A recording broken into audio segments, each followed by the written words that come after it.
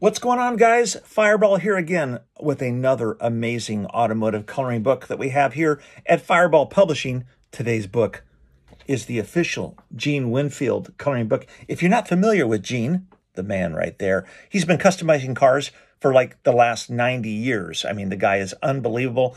Uh, he built all the cars for Blade Runner, uh, built uh, tons and tons of customs over the years, lots and lots of movies. And this book is filled with a lot of his customs uh, it also has a cool maze, but here's Desert Sunset. Yeah, he did a lot of, uh, Mercuries and stuff over the years. So this has a lot of really neat customs, but it also includes some of the uh, film cars uh, that he did over the years. He uh, had a shop, and actually, some of these cars burned while they were filming. I mean, while they were building the cars. But this uh, this book, I'm very proud of. The CRV Piranha. You may recognize some of these cars uh, that are um, some of the uh, amazing builds that he did. Uh, and he's still building cars and he's in, the, in his 90s. Yeah, crazy. Uh, our books are available on Amazon and Etsy. Get the official Gene Winfield coloring book along with our other books. Tons and tons of them. Awesome. New ones coming up too.